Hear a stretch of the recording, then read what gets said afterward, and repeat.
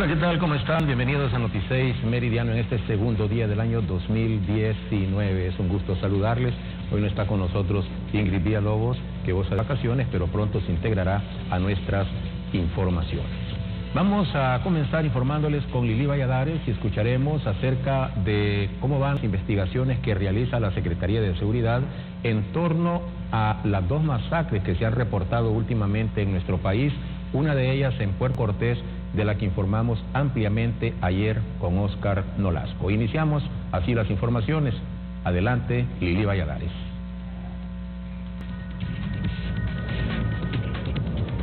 Gracias compañeros. El comisionado Jair Mesa nos acompaña. Él es el encargado de las comunicaciones de la Secretaría de Seguridad. Como portavoz de comisionado ya se registran dos masacres en lo que va este año. Información preliminar que ustedes manejan como autoridad. Bueno, sí, se registran dos muertes múltiples, una en Puerto Cortés y otra en Lloro. En ambos casos ya la Policía Nacional está trabajando eh, para poder identificar y visualizar cada uno de los casos. Hay aportes importantes, así de que eh, vamos a esperar eh, que los equipos envíen los reportes de las preliminares. En el caso de Cortés se están valorizando todos los indicios que se encontraron. En el caso de Lloro, pues información que sale hace poco, ¿verdad? Y que ya también se está trabajando para fortalecer la investigación. ¿Cuáles son los móviles que se manejan? Bueno, en el caso de Cortés eh, hay fuertes indicios que se pueda tratar de una clica de, de maras y pandillas. En el caso de Lloro eh, se manejan problemas de convivencia o eh, también problemas personales. Así de que aquí lo importante es primero identificar cada uno de las personas que murieron y determinar una hipótesis conforme a indicios que se pueden haber encontrado. Posiblemente este año se cierre con menos muertes múltiples que quizás el 2018, eh, tomando en cuenta que ha habido una rebaja comparado con el 2017. Bueno, el año pasado hubo una rebaja significativa de casos en muertes múltiples. Esperamos este 2019 seguir siempre la tendencia de, la baja. Eh, lo ideal es que no hubiesen homicidios, ¿verdad? O que estemos en los estándares internacionales. Así de que hay que trabajar mucho, hay que fortalecer, eh, hay que trabajar en temas comunitarios para que la población le pueda dar información y así minimizar riesgos. Muchísimas gracias, muy amable comisionado Yair Mesa, portavoz de la Secretaría de Seguridad. Junto a Javier López regresamos a estudios. Gracias, Lili Valladares. Un saludo hasta Tegucigalpa. Y continuamos informando ahora con Eddie Andino cuando la Fuerza de Seguridad Interinstitucional Nacional Fusina da por menores de las operaciones llevadas a cabo por esta entidad en el año 2018 y también se refieren específicamente a la masacre ocurrida en el barrio Buenos Aires de Puerto Cortés. Con Eddie Andino los detalles.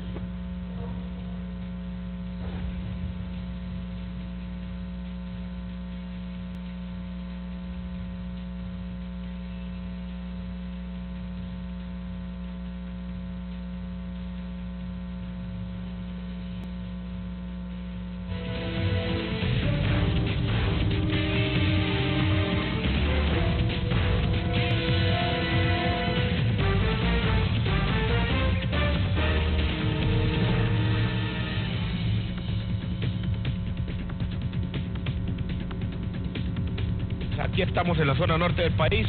Me acompaña la capitán Rivera. Durante las operaciones que se dieron en el 2018 que concluyó, iniciamos un 2019 también trabajando por parte de la autoridad.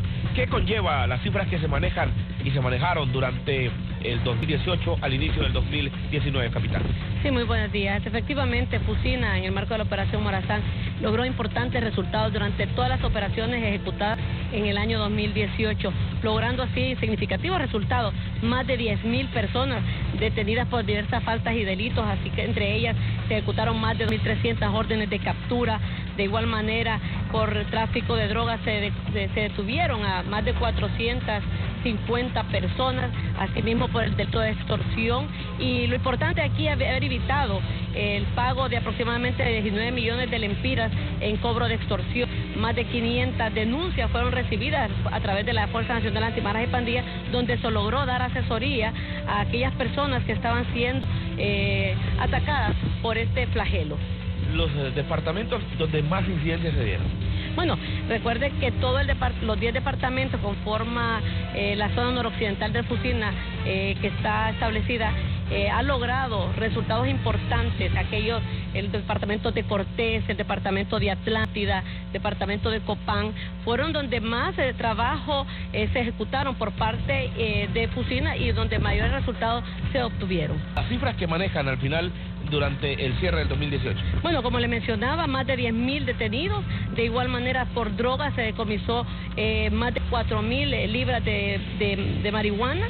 De igual manera, más de 1.500 eh, kilogramos de cocaína, asimismo 15.000 piedras de crack fueron decomisadas y por otro lado también se logró el importante decomiso de más de 28 millones de lempiras de aquellos ilícitos por parte de las autoridades donde hubieron eh, detenciones.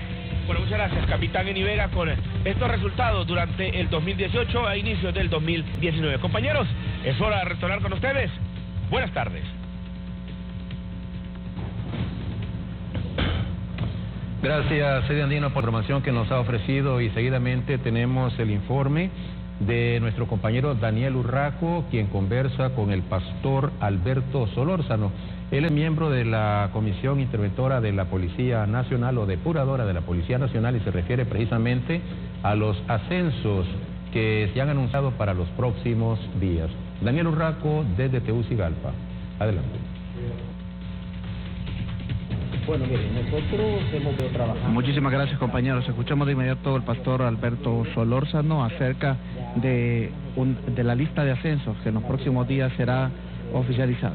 Aproximadamente casi 100 personas a ascender, no van a ascender las, las 100 personas. Hay aproximadamente unos 20 que no, no van a ser sometidos a este ascenso. Y estamos sometiendo a estos que han quedado a una nueva revisión y esperamos nosotros que ya en la primera quincena de este mes de enero tengamos el listado ya oficial que lo remitiremos al presidente de la República y en su momento él pues eh, dará eh, su visto bueno a eso y luego procede que el mismo listado pase al Congreso. 20, habla usted que quedaría fuera de estos 100 que iban a ser, ¿de qué rango estamos hablando? Ahí hay de diferentes rangos, eh, son gente que hemos venido evaluando. Recuerde que el tema de la evaluación en la policía es una constante. Esto no solo está incluyendo a la gente que está para ascenso. Ahora mismo, al comienzo de este año, nosotros entramos en una nueva recertificación todos los elementos policiales, eh, porque eh, eh, esto es una costumbre y todos los policías deben de acostumbrarse a que constantemente se les va a estar sometiendo a estas pruebas y a estas revisiones. ¿Y el proceso de depuración continúa? Claro, en efecto, este es un proceso permanente. Eh, para nosotros eh, el hecho de que esté eh, este esfuerzo y se mantenga con intensidad es vital. Eso garantiza a la ciudadanía de que la policía va a ir mejorando y que los policías van a ir procurando su trabajo de la mejor manera sabiendo que hay quien les está vigilando para que hagan las cosas bien. ¿Por qué no van a ascender estos 20 elementos de la policía? Hay diferentes eh, situaciones, algunas eh, eh, que requieren investigación y que no se les puede ascender hasta que eso haya concluido. Esto va a evitar que pase lo que está ocurriendo con algunos que fueron depurados y la Corte está ordenando reintegro y qué va a pasar con ellos, ¿van a reintegrar? No, es que esto está sometido a a revisión todavía. Recuerde que hay una parte legal, que es la contraparte de la misma Secretaría, que responde a estas eh, menciones que se desprenden de la Corte. Nosotros tenemos el caso de una persona eh, eh, en forma particular y cuando ya hemos hecho los acercamientos y se muestra por qué las personas en forma puntual fueron retiradas de la institución, entonces eso cambia, eso cambia. Correcto, escuchábamos al pastor Alberto Solórzano acerca de esta lista de ascensos que ya están siendo afinadas para poder ser entregada a las autoridades y de esta forma decidir quiénes deberán y no ascender a un rango superior. Con este informe eh, regresamos con ustedes, compañeros estudios principales.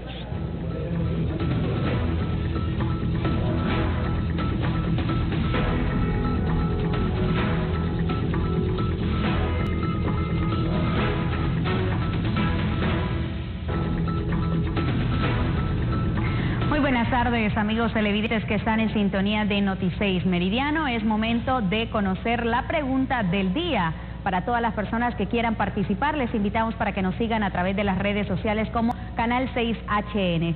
Ya en momentos pues aparecerá la publicación del día de hoy, la pregunta que tenemos para todos ustedes para que desde ya opinen y de esta forma formen parte obviamente de cada uno de los comentarios que pues tenemos por ahí a través de esta pregunta. ¿Cree usted que el secretario de Educación realmente haga cambios dentro del sistema educativo en el país? Muchas personas pues eh, han reaccionado, al menos 16 en la respuesta sí, 42 aproximadamente responden a que no. Por ahí puede dejar usted sus comentarios a través de la red social Facebook, Canal 6HN, y obviamente nosotros estaremos leyendo cada uno de sus comentarios. Sabemos que es muy importante, o para nosotros, la opinión de cada uno de ustedes, y es por eso que le invitamos para que forme parte de la pregunta. ¿Cree usted que el secretario de Educación realmente haga cambios dentro del sistema educativo en el país? Puede dejarnos sus comentarios a través de esta red social. Hasta aquí la pregunta del día.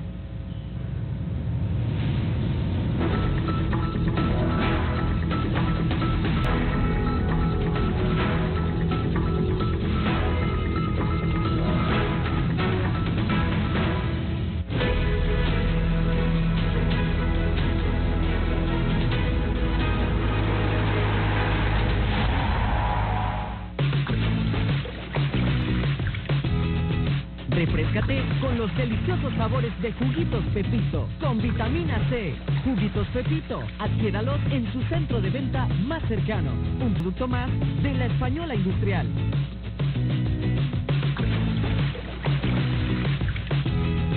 Refrescate con los deliciosos sabores de juguitos Pepito con vitamina C. Juguitos Pepito, adquiéralos en su centro de venta más cercano. Un producto más de la Española Industrial. Super liquidación. Regresó la super liquidación de Molineros Comercial. En este año nuevo, renueva tu hogar y sorprende a todos con nuestro super precio. Lleva desde estufas, salas, comedores, motos, refrigeradoras y mucho más. Con los super descuentos que te fascinarán. Doble regalos y plan contado. Además, con tu crédito fácil ya tendrás rapidez, comodidad y seguridad. Tenemos entrega a domicilio gratis. Super liquidación de Molineros Comercial. El amigo de tu hogar. Visítanos en nuestras redes sociales. Decían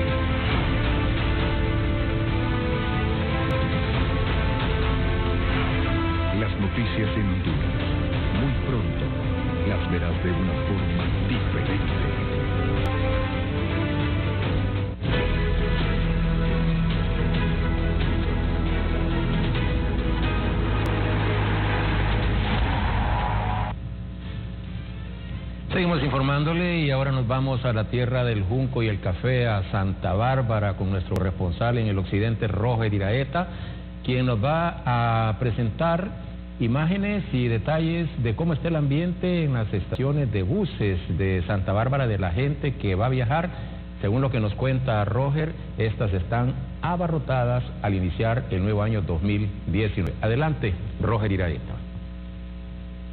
Abarrotadas se encuentran las terminales de buses en la cabecera departamental de Santa Bárbara. Eh, así es, Roger, pues no- como mira usted el movimiento ahí, tú sabes que en este tiempo pues todo el mundo ya quiere irse de un solo, ¿va? Así es. Pero en este caso, eh, la persona que viene llegando tiene que tener paciencia, tiene que hacer la fila para que los buses están viniendo seguidos. Ya se llamó a San Pedro para que no se detengan los carros allá y los manden rápido. Bueno, estamos viendo que en estos momentos hay un aproximado de unas 500 personas esperando eh, un cupo para viajar a San Pedro Sula.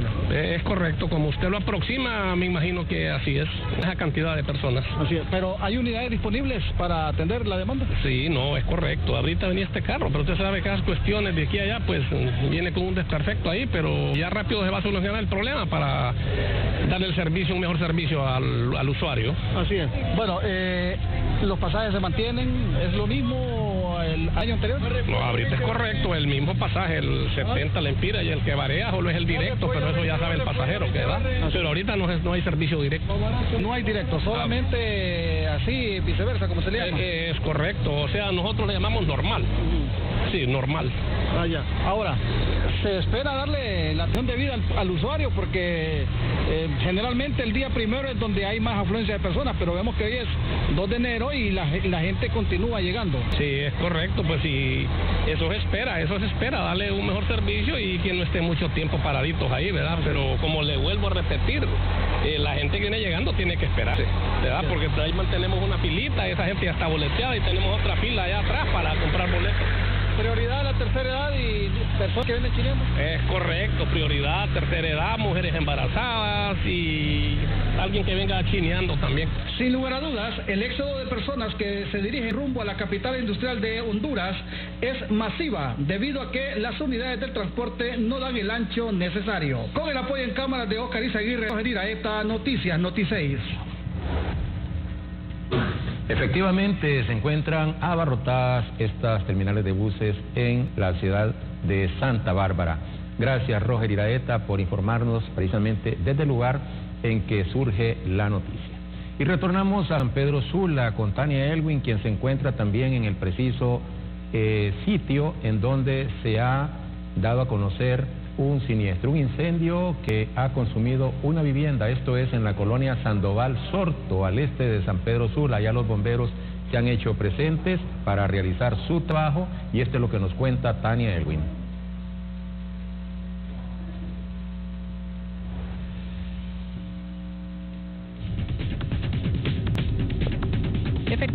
Compañeros en estudio, audiencia de Canal 6, nosotros estamos ubicados en la colonia Reparto Lempira, en el sector de la Sandoval Soto, donde se ha dado pues un incendio, la cual ha dejado sin sus pertenencias a dos personas. Nos encontramos con el mayor Varela, quien nos brindará mayores detalles. ¿Qué fue lo que pasó, mayor? Sí, aproximadamente a las 11 y 30 fuimos informados a través del sistema 911 que en ese sector pues había un incendio, el cual el personal eh, de la estación se hizo presente inmediatamente. Eh, afortunadamente eh, la rápida intervención de los bomberos evitó que se propagara a otros cuartos. Aquí nos encontramos prácticamente en lo que es una cuartería y pues eh, con los- la ayuda de los vecinos y los bomberos que se hicieron presentes se, se logró pues controlar la situación. Si miramos eh, se observan pues en, en cámaras. Eh, eh, tuvimos prácticamente lo que fueron las pérdidas eh, materiales. Todos, eh, pues en su mayoría, casi el 95% de los seres que se encontraban en el lugar fueron quemados. Y eh, pues ahorita se encuentra ya nuestro personal de la Oficina Técnica de Prevención y Seguridad, con lo cual nos va a dar un informe técnico de cuáles fueron las causas y origen. En el lugar pues no se encontraba eh, el señor que alquila, eh, él vive con su hija, afortunadamente la hija pues la tenían cuidando en otro lugar al momento de los hechos y no se encontraba nadie lo que es en el cuarto. ¿Se tiene algún indicio mayor que fue lo que produjo este incendio? Eh, como se encontraba solo, estaba encerrado, los vecinos lo que nos manifiestan es que solo vieron las llamas, eh, en los cuales acudieron a, a poder controlarlas también ellos y llamar al sistema de emergencia para que nos hiciéramos presentes. Entonces será pues la oficina técnica a través de esa investigación lo que nos van a dar eh, lo cuáles fueron las causas y el origen de este incendio. ¿Algunas recomendaciones para la hora que nosotros salgamos de nuestras viviendas? Mira, principalmente lo que se da en este tipo de incendios hay bastante el recalentamiento de líneas. A veces dejamos encendido pues algún ventilador, algún equipo que dejamos encendido. Esto pues eh, produce calentamientos. más cuando tenemos eh, lugares donde no se ha cambiado lo que es el sistema eléctrico durante muchos años, donde tenemos eh, muchos tomas de corriente acumulados, entonces hay recalentamientos y pues a la población pues le pedimos de que siempre tome sus medidas de precaución cuando dejen solo un lugar, e igualmente dejar en los vecinos algún número de teléfono donde los podamos localizar, ya que es importante ver qué, qué fue lo que ellos vieron por último y cómo, cómo estaban prácticamente colocadas todos los enseres para que nuestro personal de la, investigación pues, le facilite lo que es determinar cuáles son las causas y origen. Muchísimas gracias, Mayor Varela. Vamos a ingresar aquí a la vivienda. Pueden observar todos, todas sus pertenencias de estas personas han quedado totalmente eh, en nada. Estas personas han quedado sin nada, ni siquiera la ropa se pudo salvar. Como dice el mayor Varela, la casita, el cuartito que ellos alquilaban estaba cerrado. Los vecinos solamente miraron el humo que salía por la puerta. De no ser la intervención de los bomberos, hubiese agarrado fuego lo que es toda esta cuartería que consta como de seis, siete cuartos. Estamos hablando de siete familias que hubiesen quedado prácticamente en la calle. Estamos observando aquí, ya, ya está controlado el juego, todo el mundo ya, ya está afuera, la familia está allá afuera, vamos a ver si podemos hablar con uno de ellos. Leo por aquí, para ver si ellos nos dan mayor detalle de lo que sucedió. Tenemos vecinos aquí que son los que estuvieron observando todo lo que sucedió. Si ustedes pueden observar, es una cuartería bastante grande que está aquí en este sector. Nosotros estamos aquí afuera para que ustedes observen. Usted, usted es una de las vecinas que estaba aquí. Ella vive ahí Aquí vive. ¿Usted observó cuando estaba el juego ahí? Sí, pues yo estaba acostada en el otro cuarto donde vive mi mamá de 90 años y en eso sentía aquel gran juego. Entonces le gritaba a la hija mía porque dije, yo pensaba que el incendio era de esta otra casa. Y ya vino ella y ya miró que del cuarto que estaba. Sí, estaba caliente pues y oscuro, oscuro de humo. ¿Bastantes personas viven aquí en esta cuarto? Bueno, en ese cuarto solo vive un señor con una niñita de 10 años. En este otro cuarto vive mi mamá de 90 y mi hermano de 67. En el otro de atrás vive mi hija con, son cinco, tres niños y dos grandotes. Bastantes personas viven ahí entonces. Cuando usted observó, usted llamó a los bomberos. yo estaba acostada, entonces le grité a la hija mía y le digo, decirle a alguien que te hable a los bomberos, en eso ya llamaron, pero aquí todos los vecinos, gracias a Dios, pero no se lleva bien con la gente, ¿va? pero todo el mundo los ayudó. ¿En cuánto tiempo se ligeritos y todo el mundo venía con cubetas de agua. Si no se hubiera quemado todo ahí. ¿Los deja ustedes en la calle? En la calle también. Ya lo escuchamos aquí, una de las vecinas del señor, que es del cuarto de aquí, pues si ellos no hubiesen intervenido y, y ayudado a apagar el fuego, hubiesen quedado todos en la calle sin siquiera ropa para vestirse. Con este informe nosotros regresamos con ustedes a estudios de Canal 6.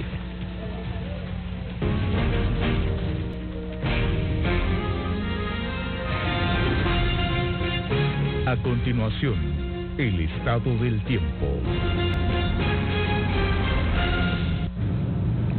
Muy buenas tardes, amigos televidentes que están en sintonía de Noticias Meridiano. Nuevamente un gusto saludarles para conocer el reporte del tiempo para las próximas horas. En esta ocasión tenemos un clima muy estable en casi la mayor parte del territorio nacional. Altas temperaturas imperan en nuestro país.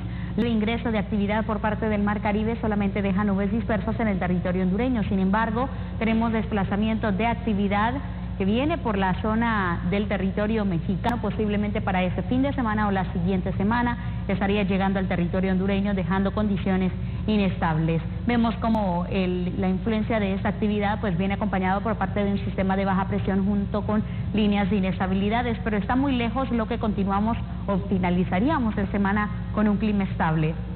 En la siguiente gráfica observamos la cantidad de nubosidad que impera en el territorio hondureño no es mucha, por lo que se esperan nubes dispersas en el transcurso de las próximas horas.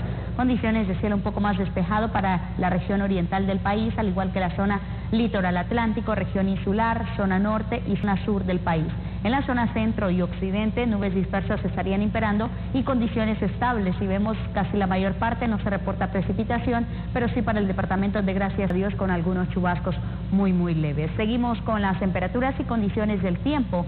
En esta tarde se pronostican 26 grados centígrados para la zona centro del país, acompañados de cielos despejados. En la zona sur, 35 grados centígrados es la temperatura máxima, condiciones de cielo despejado, mientras tanto la zona norte 32 grados es la temperatura con cielos despejados. Seguimos con la región occidental, la temperatura estará entre los 24 grados, dejando condiciones de cielo parcialmente nublado. En la región oriental 29 grados centígrados es la temperatura con cielos parcialmente nublados y en la región insular 27 cielos despejados en el transcurso de las próximas horas. Amigos, hasta aquí el reporte del tiempo. Les saludó Julis Hernández. Continuamos con más aquí en Noticias Meridiano.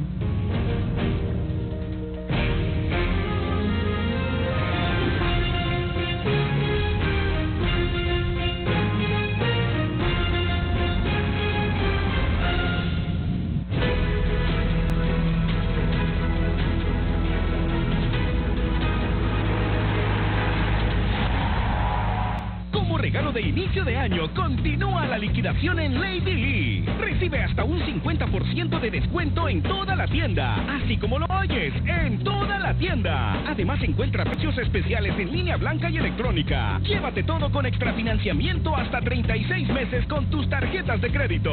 O compra el crédito con descuento de hasta 40% en tus cuotas con Credily y hasta 36 meses para pagar. Solo en Lady Lee. Todo para mi hogar. Instituto Tecnológico Automotriz Intao e. Para impulsar el desarrollo de Honduras, necesitamos educación profesional de calidad que nos proporcione las habilidades y conocimientos necesarios para desempeñarnos en las diferentes áreas de trabajo, con una formación integral que nos permite emprender y desarrollarnos, una educación con tecnología e innovación que exija una mejora continua cada día. Orgullosa de saber que en ITAC tendré un futuro brillante como técnico en mecánica automotriz. Te invito a ser parte de esta gran familia. Intao, ITAC y Estanor, impulsando el desarrollo de Honduras. Matrícula abierta. En Grupo Claro es mucho más fácil para ti estar saludable, ya que estamos donde nos necesitas y cuando nos necesitas. Con salud preventiva, emergencias, consultas médicas, laboratorio, ultrasonido y rayos X. Con todos los servicios que necesitas. Toda esta tecnología y recurso humano por una razón, para mantenerte a ti y a tu familia saludable. Clínica Ferraro. Más salud, más calor humano. Grupo Ferraro. Refrescate con los deliciosos sabores de juguitos Pepito con vitamina C. Juguitos Pepito, adquiéralos en su centro de venta más cercano. Un producto más de la Española Industrial.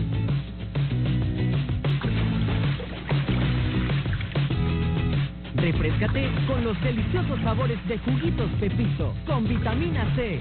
Juguitos Pepito, adquiéralos en su centro de venta más cercano. Un producto más de la Española Industrial.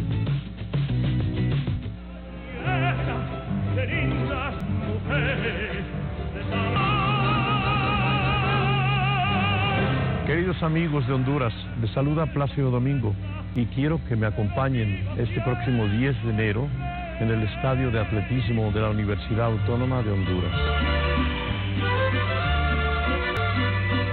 Gracias Tegucigalpa por abrirnos las puertas. Nos vemos muy pronto.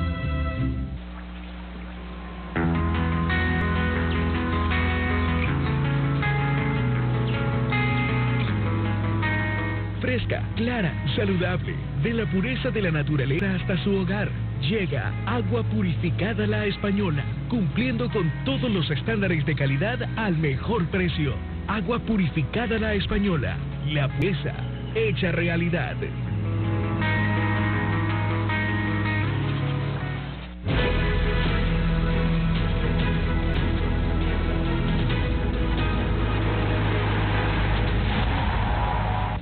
Y la noticia que más llama la atención en estos momentos en la ciudad de Aceiba, Atlántida, es la protesta que realizan los empleados del crematorio municipal exigiendo que se les haga efectivo el cumplimiento de sus derechos. Tenemos en estos instantes con este tema a nuestro compañero Wilmer Montoya, quien nos informa en directo. Adelante, Wilmer. en el crematorio municipal aquí en la Atlántida, donde pues nuevamente está tomado. Está tomado por trabajadores de la recolección de basura y pues vamos a ver qué es lo que está sucediendo en estos momentos. Elder Rivera, cuéntenos qué es lo que está sucediendo. Bueno, pues sí, nosotros estamos aquí porque la verdad pues nos han pagado y estamos parados por eso, por esa causa. eh, no quisiéramos nosotros pasar por todo esto porque usted sabe que la ciudad pues está sucia y, y de nosotros depende, como le digo, ellos no nos han pagado, no, no, nadie ha venido a... Pues son algunos tres meses, otros dos meses, entonces no miramos, pues no miramos respuesta en nada. No va, no va a haber ninguna tregua que le van a dar ya al gobierno municipal y a los eh, contratistas que les debe. No, hasta que ellos no nos paguen todo lo que nos deben, no nos podemos mover de aquí porque nosotros ya hicimos el trabajo. Ahí sí, estamos aquí, va muchachos, nosotros queremos pago. Va, es lo que queremos, nosotros queremos pago. Esto es lo que está sucediendo aquí en lo que es el crematorio Los Laureles, donde está precisamente la báscula del, del ingreso de la basura aquí en Ciudad Puerto de la Ceiba. Adelante compañeros, envío micrófonos a estudios principales de Canal 6, les informó Wilmer Montoya. Vamos a continuar con las informaciones y damos gracias a nuestro compañero Wilmer Montoya en la Ceiba por este reporte de algo que está ocurriendo precisamente en estos instantes. Y seguidamente la noticia del día con Daniel Urraco, cuando se dan a conocer irregularidades que ocurren en el nombramiento para plazas en el sector de medicina en nuestro país. Esta es la denuncia que presenta la sociedad civil. Adelante, Daniel Urraco.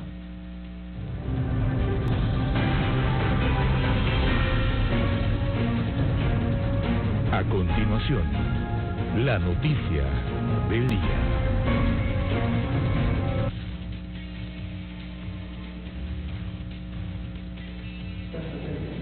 Muchísimas gracias, compañeros en los estudios. Bueno, eh, alrededor de 400 plazas para médicos eh, tendrían que ser ya asignadas en este mes de enero. Sin embargo, eh, la sociedad civil lamenta ciertas irregularidades que el, el recién egresado ministro de Salud pues dejó en el concurso médico. Efectivamente, se realizó el concurso médico con total transparencia, con mucha objetividad y en el marco de la ley, la comisión de concurso con la veeduría que ASJ hizo remitió los listados tal como lo establece la ley al secretario en el despacho de salud para hacer los nombramientos. Y se mandan las ternas, digamos, los que ocuparon el primero, segundo y tercer lugar. El reglamento establece de manera clara que se debe de otorgar a quien obtuvo el primer, el mayor puntaje. En los últimos eh, semanas hemos estado observando eh, varios eh, médicos que están quejándose. Yo he recibido varias llamadas, mensajes, porque no se respetó la ley. Aparentemente en un 35%. Ese es un dato preliminar. Están haciendo el análisis de la publicación y nosotros de manera respetuosa estamos exhortando a la ministra de Salud a que haga los correctivos necesarios y que se respete la ley. Honduras no da para más. Yo creo que no podemos generar conflictos. Y este señor generó conflictos, pero él ya se fue. Y él ya va a estar tranquilo y le dejó una papa caliente a una persona que yo creo que tiene todo el interés y la experiencia para hacer acciones. Entonces, esto no puede ser así, esto tiene que ser corregido y hay que beneficiar a aquellos médicos que obtuvieron los mayores puntajes. El ministro de Educación que salió y hizo entonces nombramientos irregulares. Bueno, los de educación recién estemos, es el caso, es de salud, en el caso de salud, notificó, porque no se han hecho los acuerdos, notificó a médicos que no merecían eh, ser notificados para ser beneficiados de una plaza. Se cometieron algunos errores en ese listado, por ejemplo, hay médicos que se les está otorgando dos plazas, dos plazas de seis horas cada médico en diferentes lugares. Eso no puede ser. Ese tipo de situaciones y de prácticas ya no pueden seguir cometiéndose en el país. Perfecto, escuchábamos a Carlos Hernández, representante de la sociedad civil, quienes pues están lamentando que este concurso médico para el otorgamiento de plazas se empañe por algunas acciones, decisiones que se desconocen el motivo por el ex ministro de Salud. Con este informe, en Cámara de Víctor Chirino, retornamos con ustedes estudios principales. Y retornando de Tegucigalpa a esta ciudad de San Pedro Sula, nos trasladamos con Tania Elwin al Hospital Mario Catarino Rivas. Según las estadísticas que tienen, en el país ha habido 64 personas que resultaron con quemaduras como consecuencia del inapropiado uso de artefactos hechos por la pólvora. Solamente en el Hospital Mario Catarino Rivas se ha dado asistencia a por lo menos 24 personas por esta misma razón. Tania Elwin desde el Hospital Mario Catarino Ríos. Efectivamente, compañeros en estudio, audiencia de Canal 6, nos encontramos en el Hospital Mario Catarino Rivas con la licenciada Julia Sánchez, quien nos detallará sobre nuevos casos de personas quemadas con pólvora. Licenciada Julia, buenas. Muy buenas tardes, licenciada. El Hospital Mario Catarino Rivas eh, reporta dos casos nuevos del día de ayer por quema de pólvora. Se tratan de un menor de 12 años procedente de la Ribera Hernández de la ciudad de San Pedro Sula, quien al momento del estallido de un mortero en sus brazos sufrió quemaduras de segundo grado. El paciente no tuvo pérdida de miembros, está estable. El otro paciente es de 25 años de edad, procedente de Santa Bárbara. Él sí tiene lesiones en su mano derecha, eh, tiene lesiones graves en los dedos índice, medio y pulgar. En total, hasta este momento, el Hospital Mario Catarino Rivas reporta 20 pacientes quemados por pólvora. De esos, 12 se encuentran hospitalizados. Licenciada Julia, ¿y otras personas con quemaduras por agua caliente, de café también aquí? Así es, este año tuvimos un repunte en niños quemados por escaldaduras que significan agua caliente o café. Tenemos más de 20 niños por quema de, de escaldadura.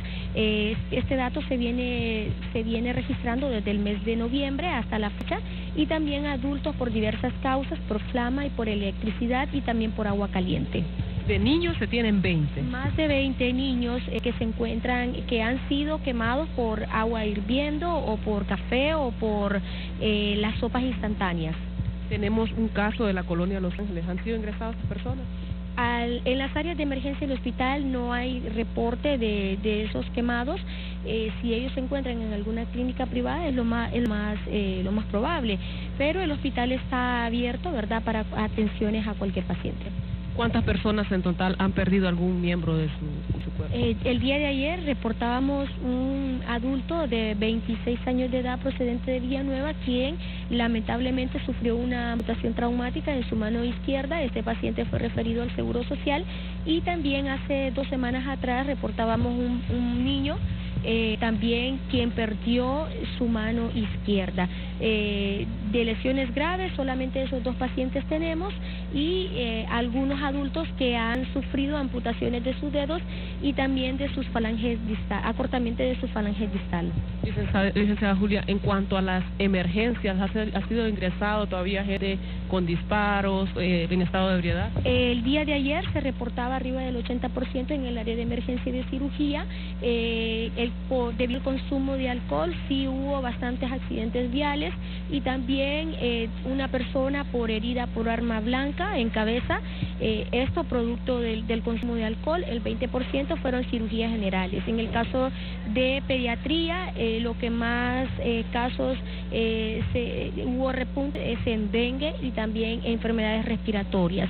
Y en el área de medicina interna, eh, lo que más se frecuentó son enfermedades crónicas como la diabetes, hipertensión arterial, cardiopatías y también insuficiencia renal. Muchísimas gracias, licenciada Julia del Hospital Mario Catarino Rivas. Este es el reporte desde aquí. Regresamos a estudios de Canal C.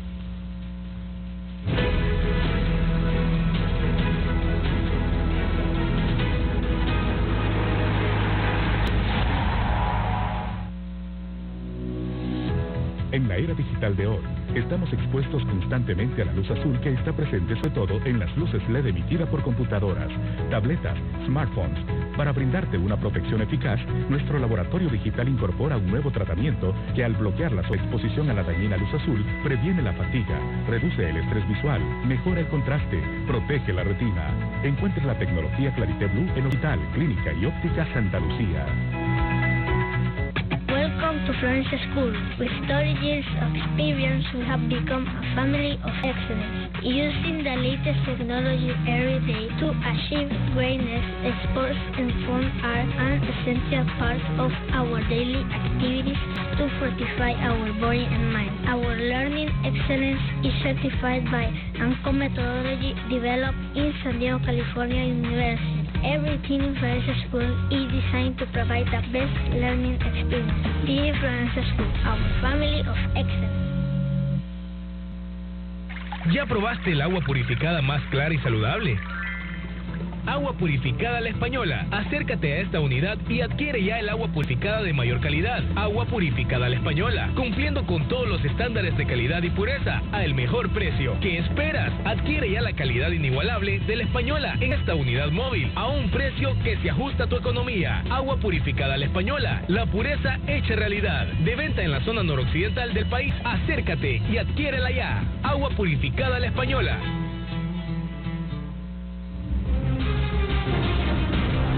Porque no tenemos miedo. Somos parte de la historia noticiosa. Canal 6 siempre está donde está la noticia. Noticias de última hora. No importa la hora. 24 horas de coberturas noticiosas en Honduras.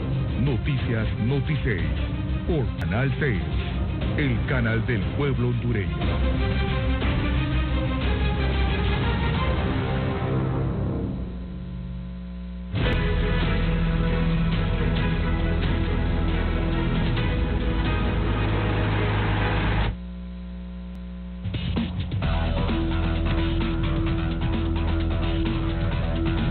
Tardes, feliz 2019. Aquí estamos con la información deportiva. La Premier League de Inglaterra tuvo actividad deportiva comenzando el año. Vamos con el resumen del partido entre el Arsenal y el conjunto del Fulham.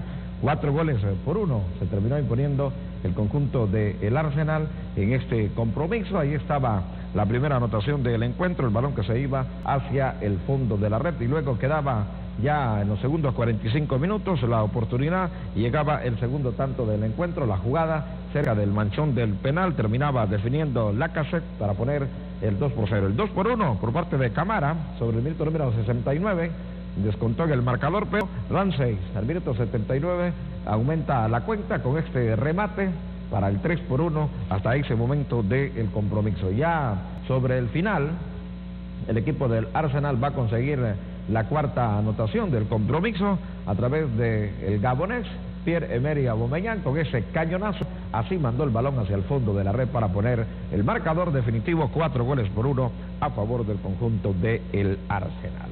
Vamos a otro encuentro, siempre de la Premier League. El conjunto del Tottenham terminó sacando el resultado de forma contundente, tres goles por cero ante el conjunto del Cardiff.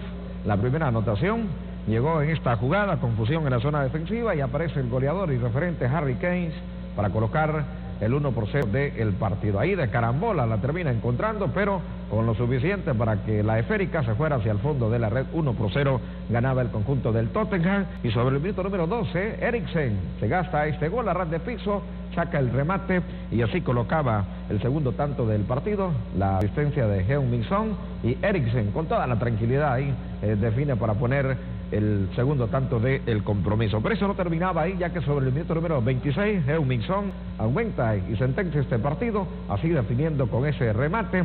3 por 0 venció el Tottenham al conjunto del Cardiff correspondiente a el- la Premier League de Inglaterra. Y tome nota con los partidos que se estarán jugando hoy. El Bournemouth se enfrenta al Watford, una con 45 de la tarde. Chelsea ante el conjunto del Southampton. El Huddersfield ante el conjunto del Burling. Newcastle se mide al Manchester United. Y mañana es el duelo esperado. Manchester City ante el conjunto de Liverpool a partir de las 2 de la tarde. Son los partidos de la Premier League. Y nos quedamos siempre con información de Inglaterra ya que el jugador estadounidense Christian Pulisic ha sido comprado por el conjunto de el Chelsea. Eh, 72.8 millones de dólares es lo que ha pagado el conjunto del Chelsea por el jugador norteamericano Pulisic que eh, aparentemente será el sustituto de Eden Hazard en el conjunto del Chelsea, que todo apunta que Eden Hazard la próxima temporada estará jugando con el Real Madrid. Así que el fichaje más caro en la historia de la CONCACAF, el norteamericano Christian Pulisic. Y Vamos con hablando de fichaje, pero no nuestro, ya que hoy el equipo Juticalpa ha confirmado la contratación de Emiliano Teixeira, jugador que viene a reforzar al conjunto olanchano de la mano de Robert Lima, así que es el nuevo fichaje que tiene el conjunto eh, de Juticalpa, el defensor Emiliano Teixeira, nuevo jugador del conjunto olanchano. Así está la actividad deportiva, tanto nacional e internacional. Es lo importante en la sección deportiva.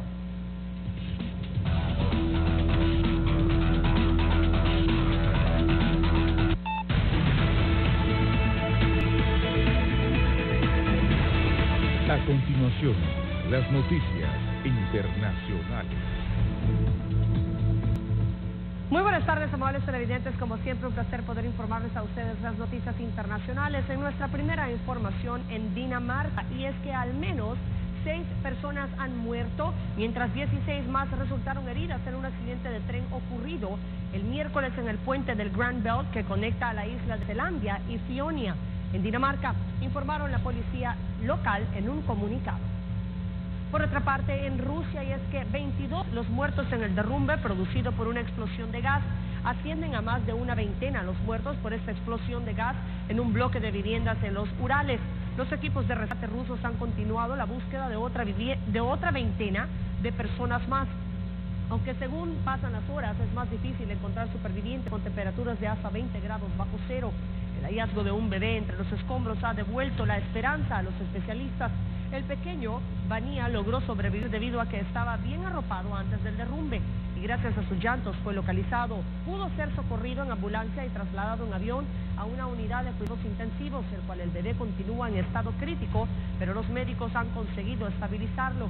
Su madre, que también ha sobrevivido, ha podido reconocerlo en el hospital. Con esto finalizamos la información internacional. Gracias por acompañarnos como siempre. Les informó Karen Nodarse. Tengan una feliz tarde.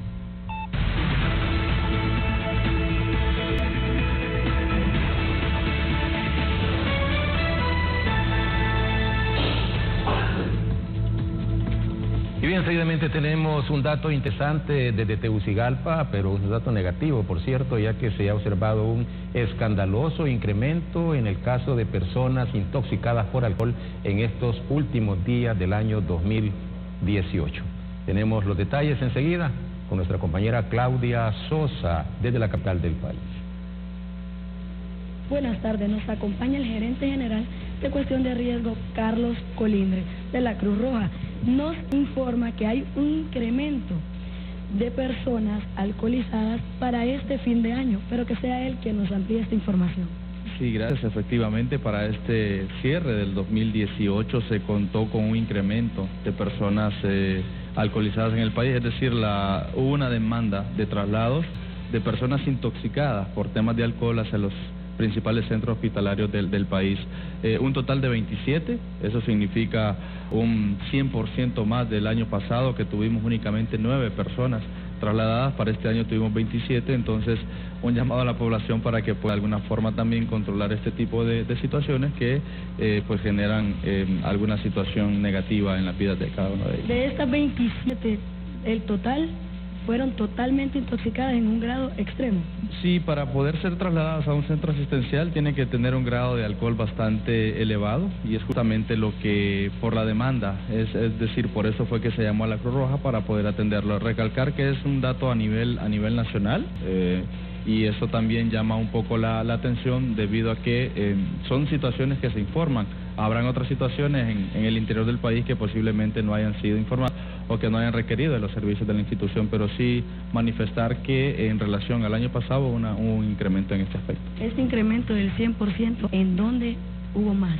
¿En, en qué sectores del, del, país? Sí, muy, muy importante. También tendrá que ver con la representación que tiene la institución eh, geográficamente, pero en el Valle de Sula, es decir, en, lo, en, en todos los, eh, los, municipios del Valle de Sula es donde mayormente se contabiliza esta, esta cifra no fue la capital esta, en esta ocasión. Esta ocasión no fue la capital, eh, aun y cuando sabemos también que hay ingesta de bebidas alcohólicas, pero sí en el valle, en el valle de Sula. La Cruz Roja siempre realizando su trabajo. Es, es a lo que estamos, es nuestro rol auxiliar, poder este, apoyar a las instituciones o en este caso al Estado en acciones humanitarias y estamos siempre al servicio de la población. Para este 2019. Eh, mantenernos siempre, la institución es una institución de 365 días, eh, trabajamos las 24 horas del día y bueno, todo nuestro personal siempre activo para poder atender cualquier demanda en aspectos de atención prehospitalaria que, que necesite la población. Muchas gracias Carlos Colindres por brindarnos esta información y atentos, hay que tomar precaución, el 100% de los ingresados por incremento de bebidas alcohólicas se reportó para este fin de año. En cámara de Osvaldo García, retorno a estudios principales desinformó Claudia Sosa. Gracias, Claudia. Y enseguida conoceremos detalles de lo más importante que ha acontecido en las últimas horas en este trabajo que ha sido recabado por Román Paz, Las Cortas del 6.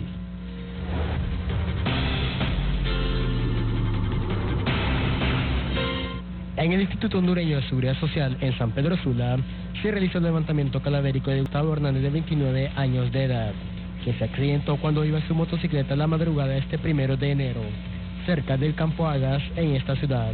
Según familiares, el ahora occiso vivía en la colonia de la Primavera y venía de partir con unas amistades en el sector de Cofradía. Por otra parte, en la colonia de Los Ángeles de la ciudad de Los Orzales, una vivienda retumbó hasta que sus paredes sucumbieron ante unos estallidos de varios explosivos, ya que se presume en la casa fabricaban morteros de alto calibre. En la misma resultaron heridas dos personas adultas y un menor de edad. El primer asesinato del municipio de Choloma, Cortés, en este nuevo año, se reportó en la colonia de Hilberto Solano, el sector López Arellano, donde un joven de alrededor de 20 años de edad fue ultimado a la orilla de un crique, cerca del puente conocido como... Concluimos así las informaciones, llegó el momento de despedirnos, pero mañana les esperamos nuevamente a partir de las 12 en punto, en otra emisión de Noticias Meridiano. Con su permiso, hasta mañana.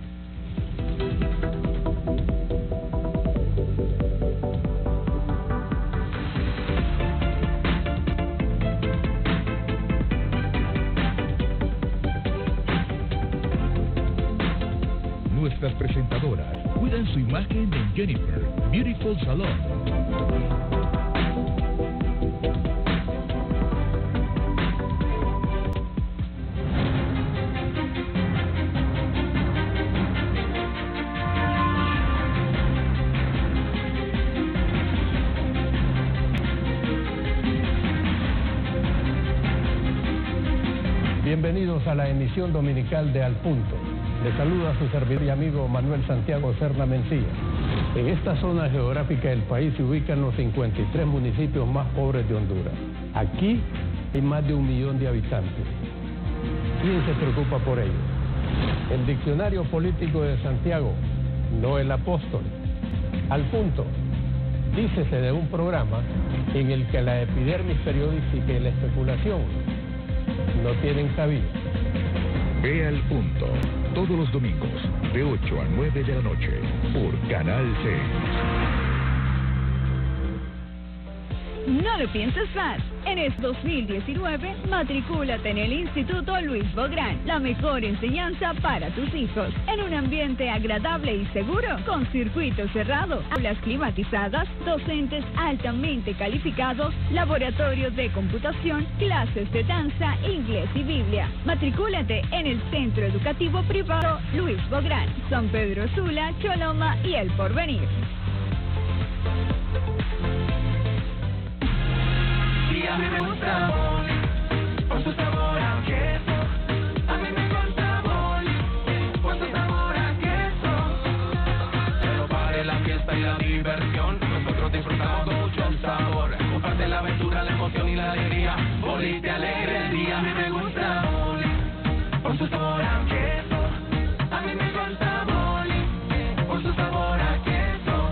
Más de Industria Sula. Calidad insuperable. Funerales Amor Eterno presenta la cremación como una alternativa a la inhumación tradicional. Es un proceso ecológico al disminuir el consumo de nuestros valiosos recursos naturales, que favorece el futuro de las generaciones. Es económico con servicios más simples que cumplirán el último deseo de su ser querido y aceptado en el mundo por muchas religiones, pues fuiste hecho del polvo y al polvo volverás. La cremación en funerales Amor Eterno es un servicio digno e inolvidable.